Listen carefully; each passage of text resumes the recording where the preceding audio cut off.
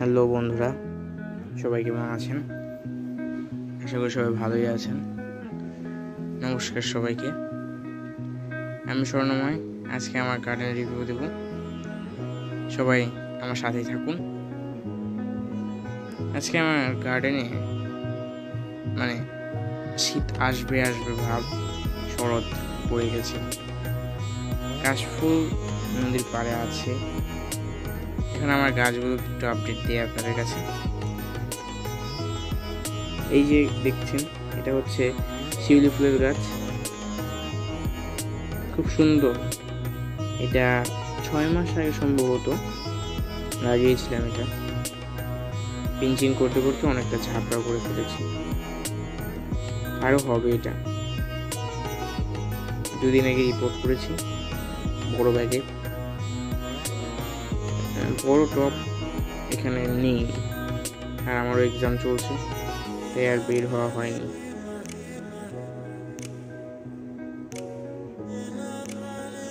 এই সামনে দেখছেন জবা ফুলের গাছ একটা। এটা হচ্ছে লাল রক্ত জবা যেটা, পাঁচ পাপড়ি হয়ে থাকে সেইটা। এটা একটা ছোট্ট একটা ইয়ের মধ্যে, কৌটার মধ্যে লাগানো হয়েছে। খুব সুন্দর এটা। মানে আমি হচ্ছে কি, যত অব্যবহৃত জিনিসপত্র আছে সেগুলো দিয়েই গাছের কাজ চালাই। বাড়তি কোনো খরচ, কম খরচে আমি গাছের পরিচর্যা করে থাকি। তারপরে দেখছেন হচ্ছে আরেকটা জবা, এটা হচ্ছে একটু গোলাপি কালার হয় খুব লাল গোলাপি কালারের মধ্যে একটা সুন্দর জবা। পঞ্চমুখী জবা বলে আমরা অনেকে আর এটা হচ্ছে আমার গোলাপ ফুলের গাছ। প্রায় চার, ছ বছরের পুরনো আমার এই গোলাপ গাছটা। খুব সুন্দর ফুল হয়। অনেক ফুল হয়। এই গরমের জন্য প্রচণ্ড পরিমাণে জল দেওয়া হয়নি তার মধ্যে।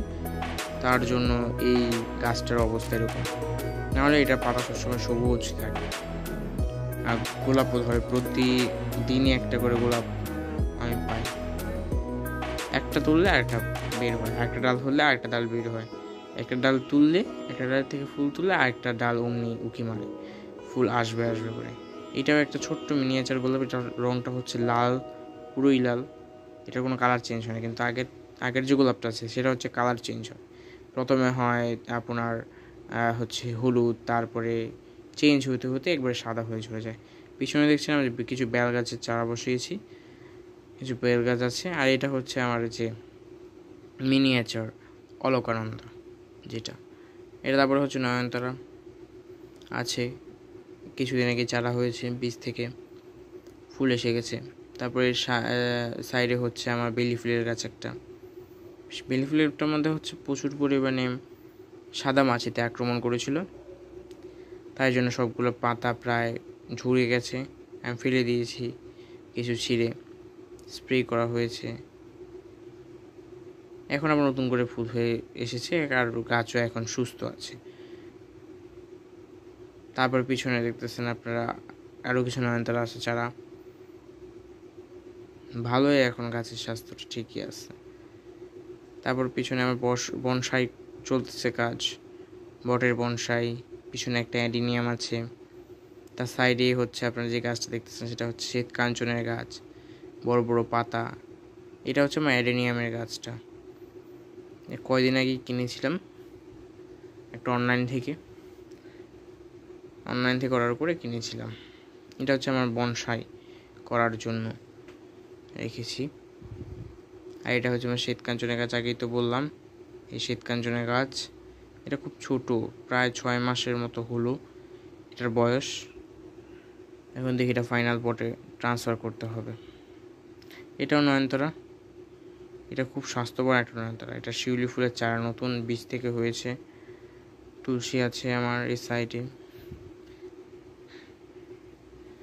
তুলসী দিয়েই ভরা এই সাইডটা এখানে স্থলবদ্ধ, কিছু কারিং থেকে চারা হয়েছে। ভালোই, স্থলবদ্ধগুলো এখন মাটির জন্য আর হচ্ছে টপের জন্য। আমি গাছগুলোকে রিপোর্ট করতে পারছি না।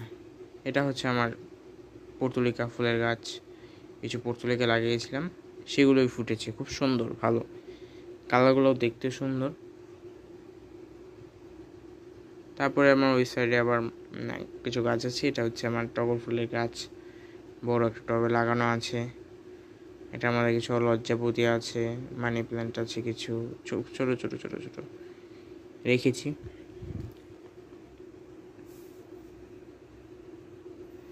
এখানে আবার কিছু পর্তুলিকাও বসিয়েছিলাম। এখানে আমার প্রথমে আছে টগর ফুলের গাছ, একটা ছোট্ট, এটা ডাল থেকে করা। তারপরে আছে হচ্ছে জবা ফুলের গাছ, এটাও কিছুদিন আগে রিপোর্ট করেছিলাম। কাটিং করে দিয়েছি খুব ঝাপড়া, ঝোপালো হয়েছে এখন। এটা হচ্ছে আমার কুলমি শাক। অনেক দিন ধরে এটার থেকে কেটে কেটে কেটে কেটে খাচ্ছি। এখনও কত হয়ে আছে, এগুলো তুলতে হবে। তার সাইডে আবার কিছু পর্তুলিকা লাগিয়েছিলাম। সেখান থেকেও ফুল ফুটেছে। এই কলমি শাকগুলো প্রায় ছয় মাস আগের। মানে ছয় মাস কাটি আর নিই।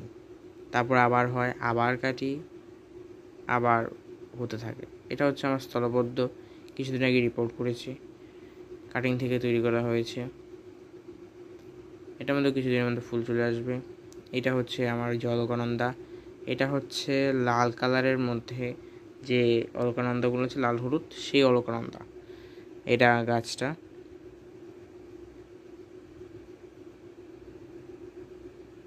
আর এটা হচ্ছে টগর ফুলের গাছ আমার। টগর ফুলের গাছটার সাথে হেলান দিয়ে রেখেছি একটা ই হিসেবে, দাঁড় হিসেবে।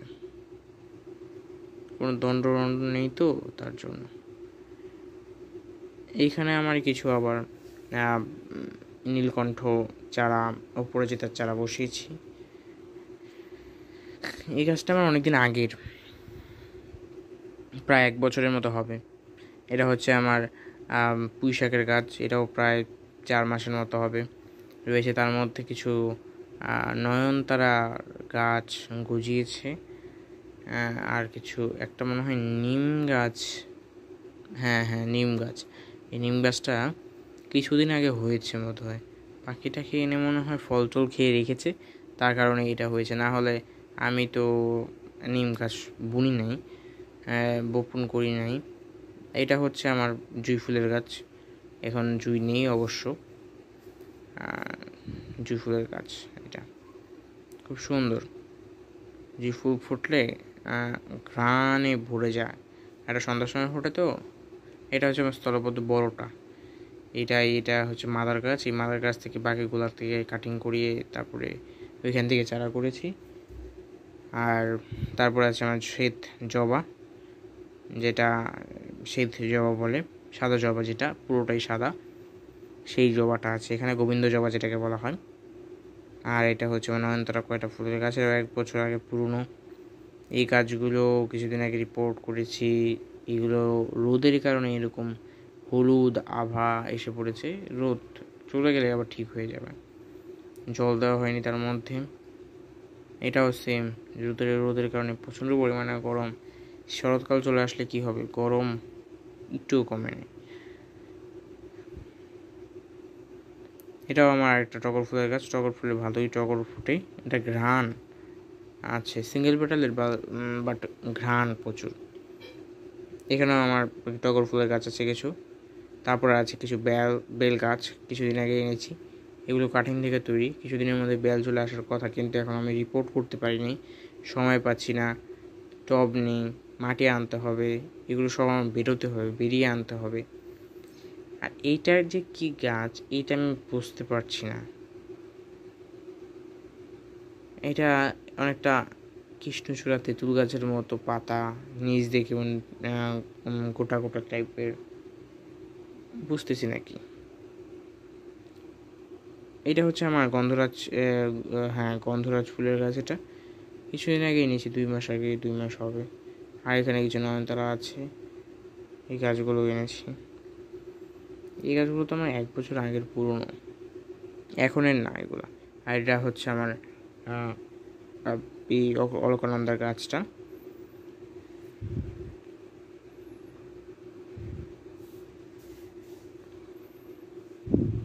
দেখুন আপনার কেমন লাগছে আমার গাছগুলোকে। শরতের এই দিনে কেমন করে জেগে উঠছে আমার আমার এই গাছগুলো। সবাই প্লিজ যদি ভিডিওটা পছন্দ হয়, সবাই লাইক করবেন শেয়ার করবেন সাবস্ক্রাইব